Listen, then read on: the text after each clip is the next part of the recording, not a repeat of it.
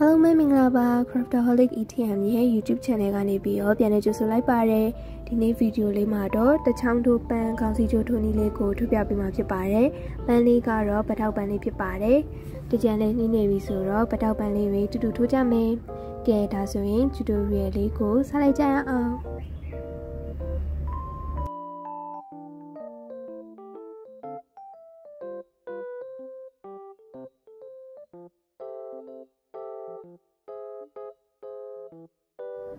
ပတောက်ပန်းလေးရဲ့အကိုင်းလေးကိုစားထုတ်ဖို့အတွက်ခွေးကလေးတစ်ခုခြိလိုက်ပါ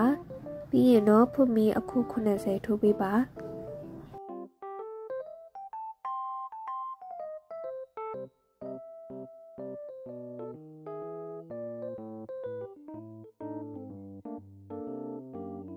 ဖွမီထိုးသွားရင်လည်း35ပေါင်မြောက်ဖွမီကိုရောက်တဲ့ဆိုရင်တော့အဲ့ဒီဖွမီမှာမက်ကျိတ်လေးတစ်ခုမှတ်ပြီးတော့ကျန်တဲ့ဖွမီတွေကိုဆက်ပြီးတော့ထိုးသွားလိုက်ပါ ဒီပတောက်ပန်လေးထိုးဖို့အတွက်ခြီက2 pline ကိုတုံးပြီးတော့50 gram တောင်မကုန်ပါဘူးဖြစ်နိုင်ရင်ခြီသေးရကိုပို့ပြီးတော့တုံးစေချင်ပါတယ်ခြီသေးမှဒါပွင့်ဖက်လေးတွေကပို့ပြီးတော့လှပါတယ်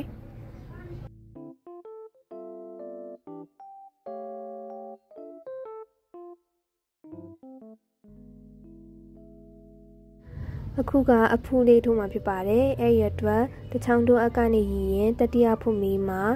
bubble stage ထိုးမှာဖြစ်ပါတယ် bubble stage ထိုးဖို့အတွက်ခြေကိုတစ်ခါရစ်တယ်ပြီးရင်ခြေကိုဆွဲယူရယ်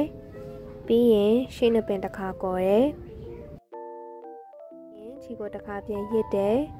ခြေကိုပြန်ဆွဲယူရယ်ပြီးရင်ရှေ့နှစ်ပင်ကိုတစ်ခါကော်ရယ်ပြီးရင်နောက်တစ်ခါဒီလိုမျိုးပဲထပ်လုပ်ပါအောင်မယ် ပြီးရင်တော့ခွင်းအားလုံးကိုဆွဲကော်လိုက်ပါမယ်ခွင်းအားလုံးကိုဆွဲကော်ပြီးတော့ရင်ဖုန်မီနှစ်ခုထိုးမယ်ပြီးရင်အဲ့ဒီတနေရာထဲမှာပဲရှက်ကော်ကော်မှာဖြစ်ပါတယ်ဒါကတော့အဖူးလေးကိုထိုးလိုက်တာဖြစ်ပါတယ်အဖူးကဒီဟာကအလဲနေရာမှာရှိရဲ့အဖူးဖြစ်ပါတယ်ပြီးရင်တူးရဲ့ဘေးမှာလည်းနောက်ထပ်အဖူးတစ်ခုတစ်ဖက်တစ်ခုစီထိုးမှာဖြစ်ပါတယ်အဲ့ရတော့ ရှက်ကောငါခါကောပေးပါအဲ့ဒီအကိုင်းဖွမီပေါ်မှာရှက်ကောငါခုကောပေးပါ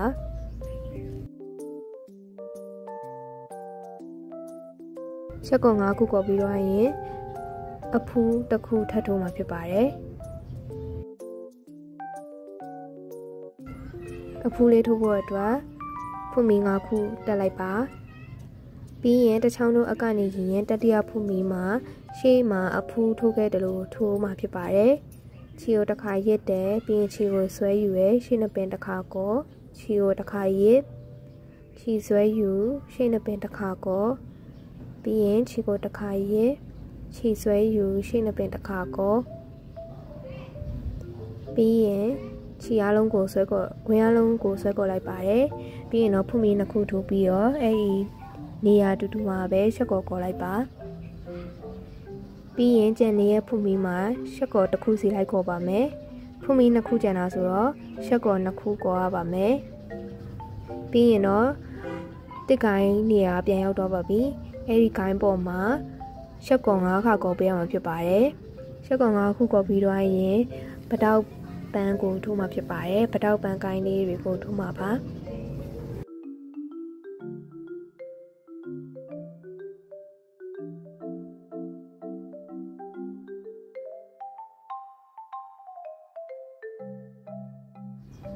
ဖူးပဲဖြစ်ဖြစ်ပန်းတပွင့်နဲ့တပွင့်ကြားပဲဖြစ်ဖြစ်အမြဲတမ်းရှက်ကော်၅ခုကော်ပြီးတော့မှ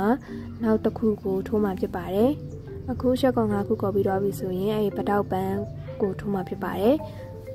ပတောက်ပန်းရဲ့အကိုင်းလေးကိုထိုးမှပါအဲ့ရအတွက်ဖုန်မီရှစ်ခုထိုးလိုက်မယ်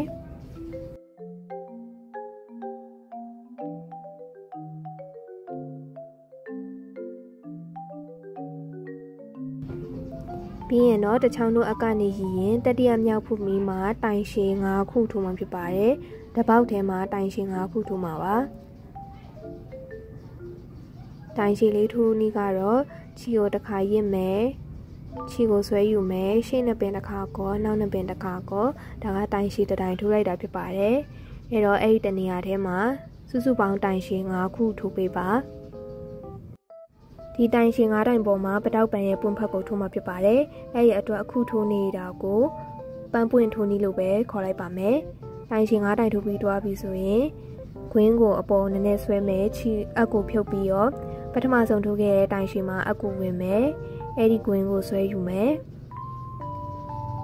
ဒီလိုမျိုးဆွဲယူလိုက်မှဖြစ်ပါတယ် strawberry မှာတရွက်ထိုးဖို့အတွက်ဆွဲယူလိုက်တဲ့နီးနဲ့အတူတူပါပဲပြီးရင်တော့ဖူမီတစ်ခုထိုးမယ်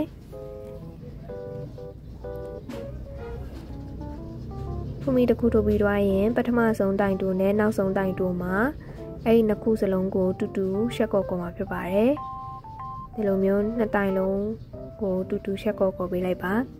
ပြီးရင်တော့ဒီပန်းပွင့်ရဲ့ခိုင်းလေးမှာ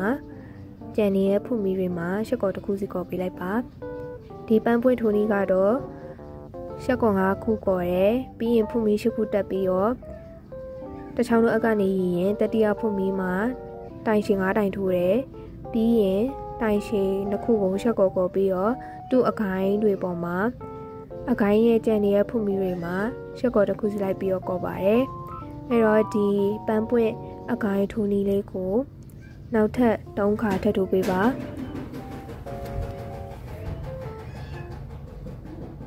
ရီကြည့်လိုက်မယ်ဆိုရင်ပန်းပွင့်အခိုင်က၄ကိုင်းအဖူးကတဖူးရှိမှာဖြစ်ပါတယ်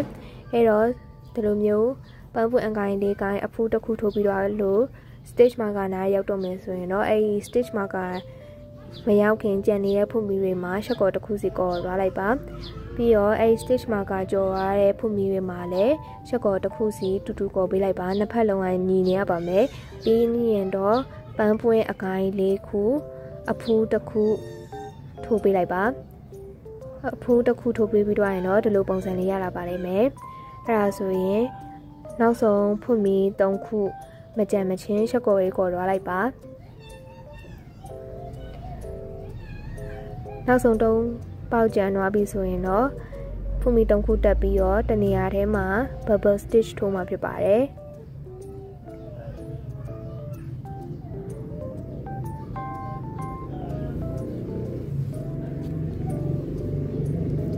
ပြီးရင်တော့အဲ့ဒီ ဖူမီ၃ခုရဲ့နောက်ဆုံးဖူမီမှာအကူဝင်မယ်ခြီကိုဆွဲယူမယ်ပြီးရင်ကွင်းအလုံးကိုတခါတည်းဆွဲခေါ်လိုက်ပါဒီဟာကအလဲရဲ့အဖူကိုထိုးလိုက်တာဖြစ်ပါတယ်ပြီးရင်ဆက်ပြီးတော့ထိုးသွားပါအောင်မယ်အခုဒီဟာကဖူမီတွေရဲ့အောက်ကနေပတ်ပြီးတော့ထိုးမှာပါအဲ့ရအတွက်ဖူမီရဲ့အောက်လမ်းကြောင်းရအောင်လို့အဲ့ဒီအဖူးရဲ့အဲ့ဒီအဖူးနေရာမှာရှက်ကော်ကြီးကော်သွားလိုက်ပါ ရှက်ကော်ရေးကော်ပြီးတော့ရင်တော့အောက်ကနေထိုးသွားမယ်လမ်းကြောင်းကိုရောက်သွားပါပြီအဲ့ရအတွက်ရှက်ကော်၅ခုကော်မယ်အဖူးတဖူးထိုးမယ်ပြီးရင်ရှက်ကော်၅ခုကော်မယ်ပန်းပွင့်အကိုင်းတကိုင်းထိုးမယ်အဲ့တော့အဖူးတစ်ခုပန်းပွင့်အကိုင်းလေးကိုင်းပြီးရင်မကျိတ်မရောက်မီမကျိတ်မရောက်ခင်ဖူမီတွေကတော့ရှက်ကော်တွေပဲကော်တော့ဖြစ်ပါတယ်ပြီးရင်မကျိတ်ကြော်ပြီးဖူမီတွေကလည်းရှက်ကော်တွေပဲကော်တော့ပါအဲ့ဒီမကျိတ်မရောက်မီနဲ့မကျိတ်ကိုကြော်ပြီး ဖွင့်မီတွေမှာရှက်ကော်ကော်ရဲ့အရေးအတွက်ကအတူတူပဲဖြစ်ရပါမယ်။ပြီးရင်တော့ပန်းပွင့်အကိုင်း၄ကိုင်းအဖူးတစ်ခုထပ်ပြီးရောထိုးထွားလိုက်ပါ။ဒါဆိုရင်ပြန်ပြီးတော့စတဲ့နေရာကိုရောက်သွားပါလိမ့်မယ်။အခုဒီလိုမျိုးစတဲ့နေရာကိုပြန်ရောက်သွားပြီ။အဖူးလည်းနောက်ဆုံးအဖူးလည်းထိုးပြီးသွားပြီဆိုရင်တော့ရှက်ကော်ကော်မယ်။ဖွင့်မီတစ်ခုထိုးပြီးရောချီကိုမတူမရှိချမ်းပြီးရောညှက်လိုက်ပါ။ပြီးရင်ချီစားကိုလည်းတင်လိုက်ပါ။ အခုကပတောက်ပန်ရဲ့အဖူးနဲ့တစ်ကိုင်းထိုးနေရပြီးသွားပါပြီအခုပတောက်ပန်လေးတွေလိုက်ပြီးတော့တက်ပေးမှာဖြစ်ပါတယ်ပတောက်ပန်ရဲ့ပွင့်ဖက်လေးတွေကိုလိုက်ပြီးတော့ထိုးပေးရပါမယ်အဲ့ရတော့အဖူးတုံးခုနေရာတွေမှာမထိုးပါဘူးအဖူးတုံးခုနေရာတွေမှာမထိုးဘူးအဲ့ဒီအပေါ်ကဒီလိုမျိုးအဖူးတွေပေါ်မှာလိုက်ပြီးတော့ထိုးမှာဖြစ်ပါတယ်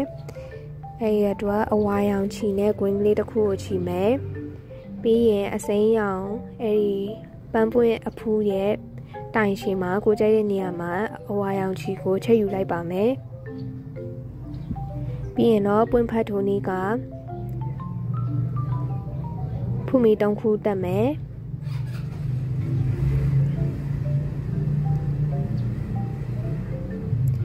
ဖူမီတုံးခုတက်ပြီးရင်ဘေးတစ်ပေါက်ထဲမှာတိုင်ရှင်၅တိုင်ထိုးပေးရမှာဖြစ်ပါတယ်။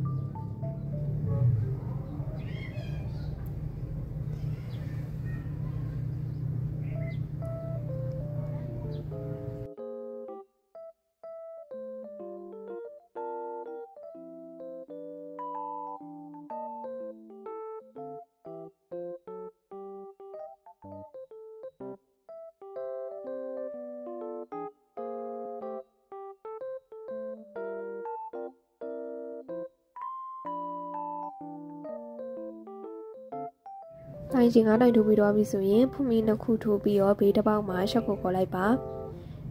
ဒါကပွင့်ဖက်တစ်ဖက်ထိုးလိုက်တာဖြစ်ပါတယ်အဖူးတစ်ဖူးပေါ်မှာပွင့်ဖက်တုံးဖက်ထိုးရပါမယ်အဲ့ရအတွက်ဖွင့်မီတုံးခုထိုးမယ်ဘေးတစ်ပေါက်မှာတိုင်ချင်9တိုင်ထိုးမယ်ဖွင့်မီနှစ်ခုတက်ပြီးတော့ဘေးတစ်ပေါက်မှာရှော့ကိုခေါ်မယ်ပြီးရင်ဖွင့်မီ3ခုထိုးမယ်ဘေးတစ်ပေါက်မှာတိုင်ရှင်9တိုင်ထိုးမယ်ပြီးရင်ဖွင့်မီ2ခုတက်ပြီးတော့ဘေးတစ်ပေါက်မှာရှော့ကောကောပါမယ်ပွင့်ဖက်3ဖက်ထိုးပြီးသွားပြီဆိုရင်တော့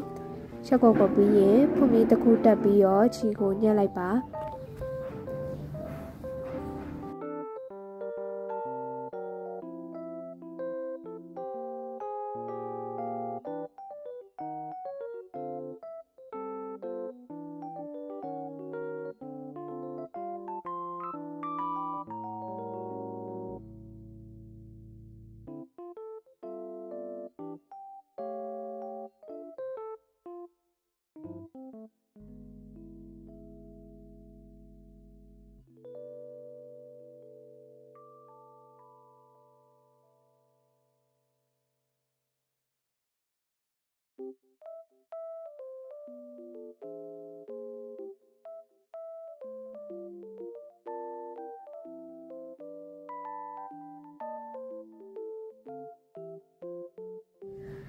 ချီညက်ပြီးတော့ပြီဆိုရင်ချီစကိုအတွင်းထဲရောက်အောင်လို့ဒီလိုမျိုးဆွဲယူမယ်ဆွဲယူပြီးတော့ရင်တိုးအောင်လို့ထပ်ပြီးတော့ညက်ပေးလိုက်ပါ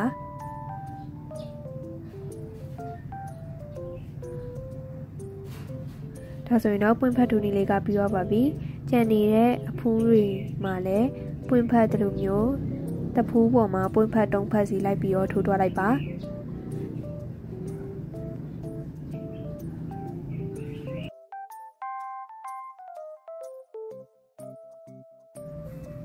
အခုကတရွတ်ထိုးမှဖြစ်ပါတယ်အဲ့ဒီအတွက်ဖွမီအခု20ထိုးလိုက်ပါ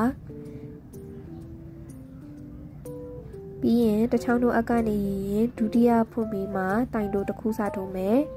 အောက်ကရေးထားတဲ့တစ်ဆိုတဲ့ပတန်အတိုင်းထိုးရမှာဖြစ်ပါတယ်တိုင်တို့တစ်ခုပြီးရင်ဘေးတစ်ပေါက်မှာလည်းတိုင်တို့တစ်ခုပြီးရင် HTC တိုင်လက်တစ်ခုချီယိုတစ်ခါရစ်တဲ့အကူဝင်နဲ့ချီယိုဆွဲယူရဲ၃ခွင်းလုံးကိုပြန်ဆွဲယူလိုက်ပါမယ်။ ပြီးရင် DC ဘေးတစ်ပေါက်မှာတိုင်ရှိတစ်ခုပြီးရင်ဘေးတစ်ပေါက်မှာ TR2 TR2 ကြတော့နှစ်ရစ်တိုင်ရှိနှစ်ခုလို့ဆိုလိုပါတယ်အဲ့ရအတွက်နှစ်ခါရစ်မယ်အဝင်မယ်ခြီကိုဆွဲယူမယ်ရှင်းနှစ်ပင်တစ်ခါကောနှစ်ပင်တစ်ခါကောပြီးရင်နောက်ထပ်နှစ်ပင်တစ်ခါကောပါမယ်ပြီးရင်နှစ်ရစ်တိုင်ရှိတနေရာထဲမှာနောက်ထပ်တစ်ခုထပ်ထိုးပါမယ်နှစ်ရစ်တိုင်ရှိပြီးတော့ရင် DC DC ဆိုတာကတိုင်ရှိဖြစ်ပါတယ် အဲ့ရအတွက်ဘေးတစ်ပေါက်မှာတိုင်ရှိတစ်ခုထိုးမယ်ပြီးရင် HDC HDC ဆိုတာတိုင်လက်ဖြစ်ပါတယ်အဲ့ရအတွက်ဘေးတစ်ပေါက်မှာတိုင်လက်တစ်ခုထိုးမယ်ပြီးရင် SC SC ဆိုတာတိုင်တူဖြစ်ပါတယ်တိုင်လက်ထိုးပြီးတော့ရင်ဘေးတစ်ပေါက်မှာတိုင်တူတစ်ခုထိုးမယ်ပြီးရင် SLST ဆိုတာက slip stitch ဖြစ်ပါတယ် slip stitch ဆိုတာကရှက်ကောခေါ်တာပါတိုင်တူထိုးပြီးတော့ရင် ဘေးတစ်ပေါက်မှာရှက်ကောခေါ်လိုက်ပါအခုဒီက1ဆိုတဲ့ပတန်ကိုထိုးလိုက်တာဖြစ်ပါတယ်ပြီးရင်အခု2ဆိုတဲ့ပတန်ကိုထိုးပါမယ်2ရဲ့ပတန်ကတော့ရှက်ကော်တစ်ခါကော်တယ်ပြီးရင်တိုင်တိုတစ်ခုထိုးတယ်ပြီးရင်ဘေးတစ်ပေါက်မှာတိုင်လက်တစ်ခုပြီးရင်တိုင်ရှည်တစ်ခုဒီ2ရဲ့ပတန်ကတော့1ရဲ့ပတန်ကိုပြောင်းပြန်ထိုးထိုးထားတာဖြစ်ပါတယ် တိုင်ရှည်ပြီးွားရင်ဘေးတစ်ပေါက်ထဲမှာနှစ်ရတိုင်ရှည်နှစ်ခုပြီးရင်တိုင်ရှိတစ်ခုဘေးတစ်ပေါက်မှာတိုင်လက်တစ်ခုပြီးရင်ကြံတဲ့နှစ်ပေါက်မှာကြတော့တိုင်တူတစ်ခုစီထိုးပေးလိုက်ပါ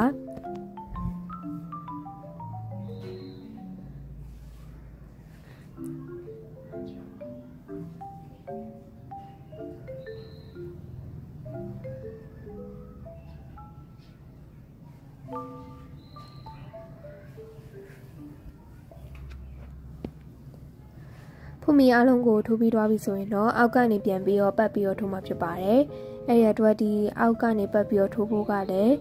ဒီတစ်နဲ့နေရဲ့ထိုးနည်းကိုတုံးပြီးတော့ပြန်ပြီးတော့ထိုးသွားလိုက်ပါ။တစ်ကိုထိုးပြီးရင်တော့နှစ်ကိုထိုးလိုက်ပါ။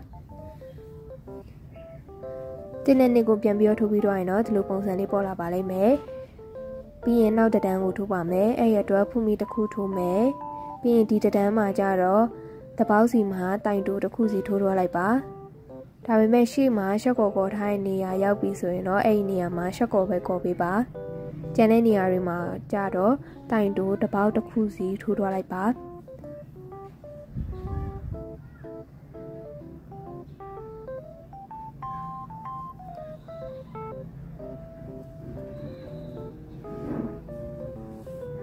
တပတ်ပြောင်ထိုးပြီးတော့ပြီဆိုရင်ရှက်ကော်ကော်မယ် ဖွမီတစ်ခုထိုးပြီးတော့ချုပ်ဖို့အတွက်ကျိုးရှိရှိချန်ပြီးတော့ညှက်လိုက်ပါ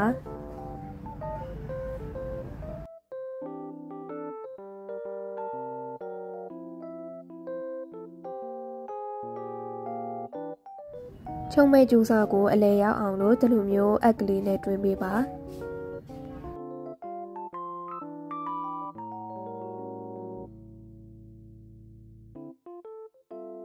ပြီးရင်တော့တရွက်အလဲလေးနဲ့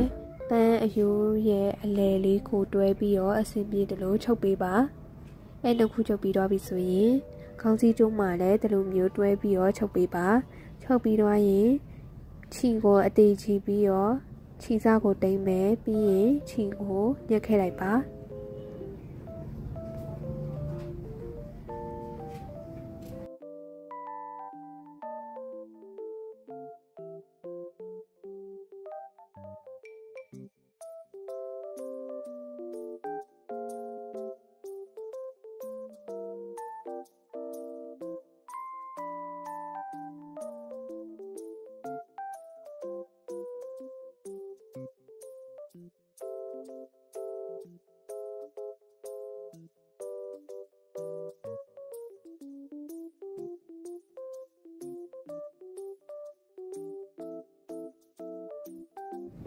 ခုဆိုရင်လာပါတဲ့ပတောက်မှန်ထူလေးတွေကပြီးတော့ပါပြီကြည့်ကြပေးကြတဲ့အတွက်ကျေးဇူးများတင်ပါတယ်။ညတနက်လေးပဲပတ်တိုင်းတင်ပြီးနေအောင်မလို့ channel လေးကို subscribe လုပ်ခဲ့ပါ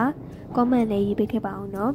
။ ETM ရဲ့ tutorial အတိုင်းတချောင်းတူးလေးတွေထူထားတယ်ဆိုရင်တော့ Facebook page Proptolly ETM မှာလာပြီးတော့လက်ရလေးတွေမျှဝေနိုင်ပါတယ်။ကဲဒါဆိုရင်နောက်ဗီဒီယိုတစ်ခုမှမှထပ်တွေ့ကြအောင်။ Bye bye